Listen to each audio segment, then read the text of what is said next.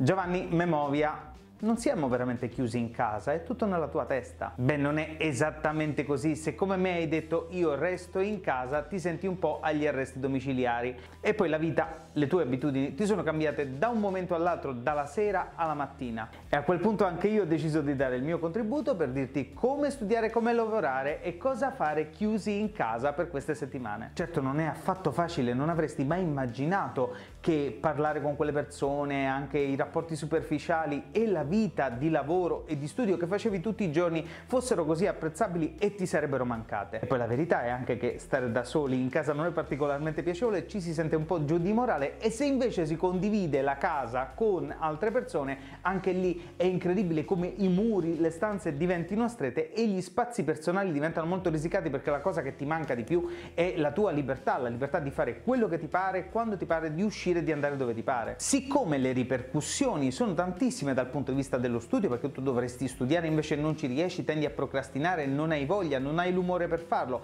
pensavi che fosse possibile portarti avanti con gli studi o recuperare qualcosa e invece ti sta venendo difficile, ma sono ripercussioni anche dal punto di vista dell'umore, della motivazione, della voglia di stare insieme agli altri, ti senti nervoso, i comportamenti ti danno più fastidio, diventa tutto amplificato. Anche io ho detto rimango a casa e così ho dovuto cercare delle soluzioni alternative, qualcosa che uscisse fuori dal problema. Mi sono voluto concentrare appunto sulle soluzioni e non sul problema stesso. Siccome abbiamo visto che c'erano dei risultati eh, importanti dal punto di vista dello studio, della produttività, si riusciva ad andare avanti, abbiamo ripreso a funzionare e a imparare cose nuove, abbiamo voluto estendere questi risultati, o meglio queste indicazioni a tutta Italia. E quindi in questa puntata vediamo delle soluzioni pratiche per affrontare queste settimane di arresti domiciliari.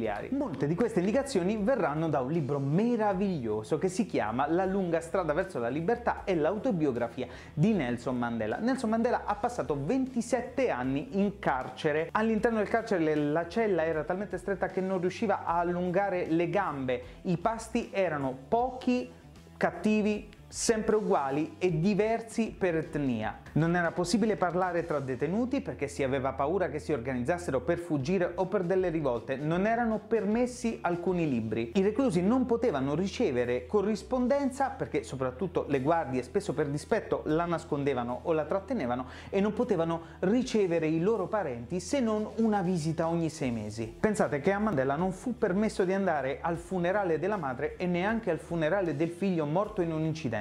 Mandela racconta poi che il lavoro fisico era durissimo, erano costretti ai lavori forzati. Ha passato 5 anni a rompere pietre, 13 anni in una cava di calce e poi a raccogliere delle alghe. E in tutto questo lui ha trovato la forza per costruire dentro di sé la resilienza, per aggrapparsi alla vita e per scrivere la sua bellissima storia. Una delle cose che Mandela dice è proprio che aveva bisogno di una routine. Siccome il carcere era tutto sempre uguale e addirittura gli venivano tolti gli orologi proprio perché così non avrebbero avuto la percezione del tempo che passava, lui ha detto io mi sarei sentito malissimo, anzi mi avrebbe ucciso solo non sapere che cosa avrei potuto fare il giorno dopo. E quindi noi andiamo a vedere oggi in questa puntata la routine che l'esperienza e le ricerche dicono che è la più efficace in situazioni di reclusione forzata. Per prima cosa sappi che dobbiamo dirigerci in due direzioni appunto, la prima è quella pratica e la seconda è la direzione emotiva. Dal punto di vista pratico devi organizzare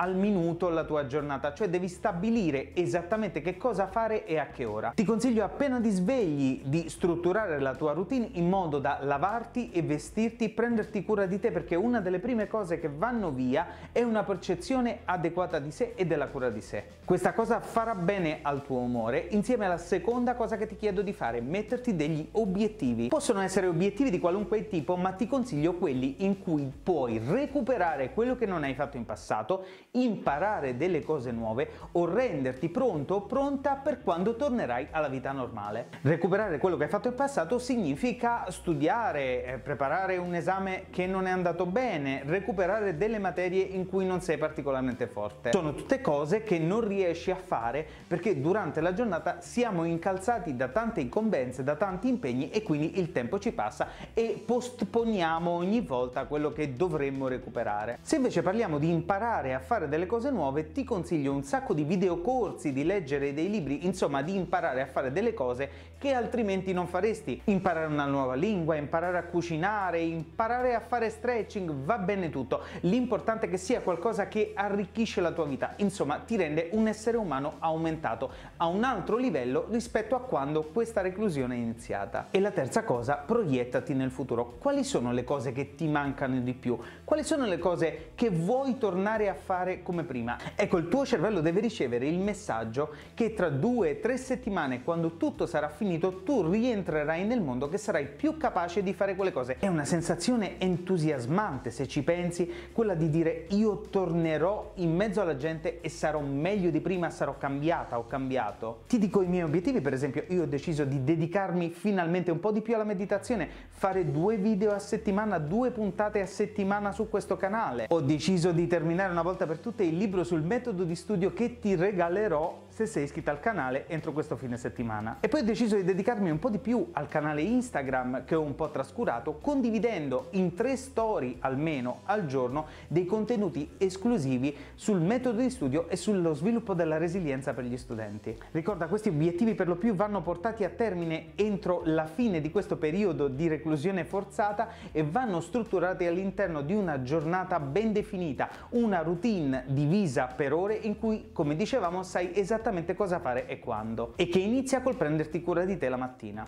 Tra parentesi, eh, è stato provato dalle ricerche che prendere l'impegno pubblico, cioè dire agli altri quello che farai, quali sono i tuoi obiettivi, ti spinge e ti motiva di più a fare quelle cose proprio perché non vuoi fare la brutta figura di far vedere agli altri che non hai raggiunto quegli obiettivi che avevi promesso. Un'altra cosa che Mandela e i suoi compagni di reclusione avevano scoperto è che la socialità è tutto. Si erano resi conto che era importantissimo scambiare, parlare, condividere e quindi anche tu sii la prima prima persona, prendi l'esempio, sii il primo a condividere quello che fai con gli altri, proprio perché gli altri hanno bisogno, magari si trovano in una situazione più difficile di te. La socialità è importante perché la condivisione e la comunicazione anche virtuale ci permettono di sentirci utili e di sentire che stiamo aiutando gli altri e questo sposta la nostra attenzione dal concentrarci sulle nostre difficoltà emotive per aiutare gli altri e aiutare l'altro aiuta miracolosamente, inaspettatamente anche noi stessi. Altro motivo per cui è molto importante una routine piuttosto rigida e cadenzata è che questo ti sblocca, ti rimette in moto e quindi ti permette di evitare la procrastinazione, cioè il dire sì vabbè ma tanto che lo faccio a fare oppure lo faccio dopo. In questo caso sei tu a darti delle regole e attenzione lo so che le regole in genere non ti piacciono,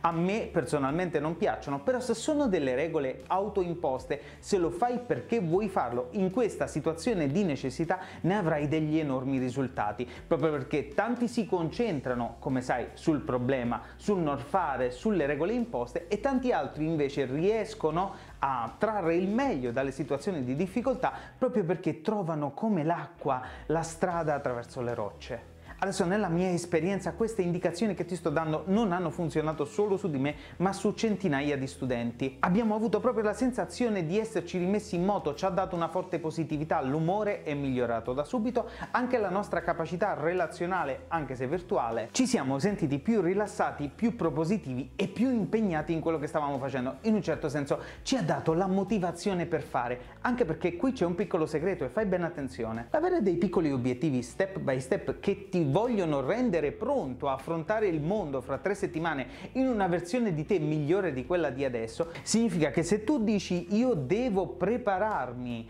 a quello che succederà fra tre settimane, il tuo cervello dà per scontato che queste tre settimane finiranno prima o poi. Ed è proprio quello che ci aiuta. Tutto quello che stiamo vivendo al momento è molto amplificato. Eh, ci innervosiamo per i comportamenti delle persone, abbiamo notizie, come dicevamo, contrastanti e non piacevoli e quindi tutto questo questo ci porta ad avere un senso di negatività, di buio, di oscurità intorno e invece noi abbiamo bisogno di rivedere la luce alla fine del tunnel, possiamo dirla così, cioè di vederci, di proiettarci nel futuro a quando ritorneremo alla vita quotidiana. Mandela ha scritto a proposito che le difficoltà piegano alcuni uomini e ne rafforzano degli altri. Se ti piace questo pensiero iscriviti al canale, avremo un sacco di puntate dedicate a imparare a fare cose nuove e a migliorare noi stessi in vista di quando torneremo alla luce. E iscriviti soprattutto soprattutto perché alla fine di questa settimana così sarai fra le prime persone a ricevere in omaggio l'ebook che sto terminando sul metodo di studio, che ti insegnerà i metodi precisi per prendere i voti più alti studiando due ore al giorno e con un quarto dell'ansia. Lo riceverai direttamente nella tua casella di posta come mio regalo in questa situazione di difficoltà. Qui sotto nei commenti